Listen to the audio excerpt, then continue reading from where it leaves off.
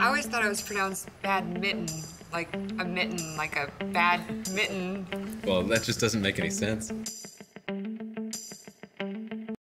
No American has ever won the Thompson Cup, but this year they're having it in New York. And you live in New York. I do!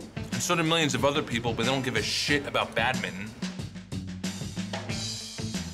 Come back after tournament over and then you play. No, I'm destined to play in this tournament. Do not speak English. We are all pale. Why would I play badminton? Badminton? And it's the fastest projectile sport on Earth.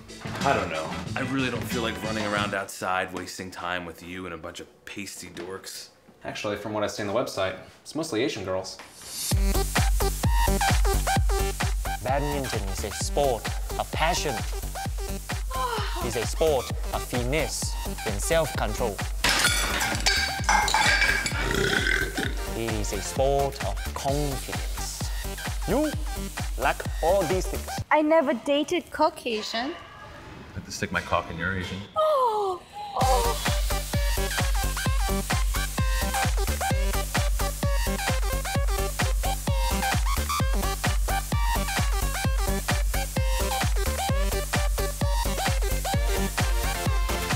You're not that good today. Keep trying. You'll be good tomorrow. Some people are just born to be great. Exactly. Never let your lack of ability get in the way of your greatness. Hey, I just wanted to say congrats on a demo. You loser. What? Yeah, Carson. Maybe when you're done filing Billy's invoices, you can come over to my desk and stick your finger up my ass.